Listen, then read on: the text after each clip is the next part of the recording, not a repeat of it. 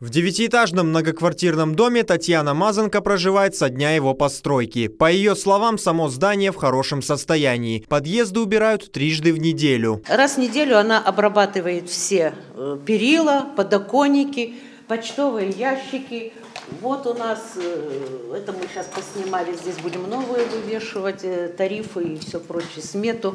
Вот. Сейчас даже мы ставим, мы уже поставили на девятом и на восьмом этаже, меняем двери на вот эти пластиковые. А вот к придомовой территории у жильцов есть вопросы. В частности, это разваливающийся колодец и просевший вокруг него грунт. Проблему удалось решить при содействии министра спорта Крыма Ольги Тарубаровой. Тарубарова Ольга Александровна, министр спорта Республики Крым.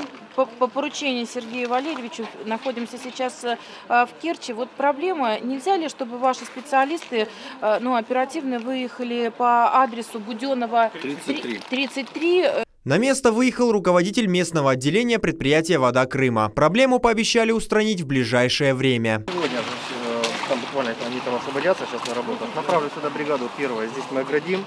Да, и возьмем, ну, на следующей неделе, я думаю, не проблема все это сделать. Строительство новых детских площадок и спил сухих деревьев. Эти вопросы жители предложили решить в первую очередь. Все это мы передаем в администрацию для рассмотрения и, безусловно, решения вопросов. Мне кажется, тот двор, где мы сейчас находимся, это идеальный двор, и именно к такому надо э, стремиться, чтобы во дворе была и спортивные элементы спортивной площадки, детской площадки, э, заасфальтировано, места для э, парковок. И вот когда в Керчи в каждом дворе будет будет э, такая инфраструктура, мне кажется, вот это и говорит о том, что качество жизни людей значительно будет улучшено. До 26 января по поручению главы Крыма чиновники должны обойти чуть менее полутора тысяч домов и выявить проблемы. Основные проблемы, которые беспокоят жителей вокзального шоссе, это постоянное засорение системы канализации, а также неудовлетворительное состояние дорожного покрытия. Ямы, которые образуются на дорогах со временем, делают передвижение по ним настоящим испытанием.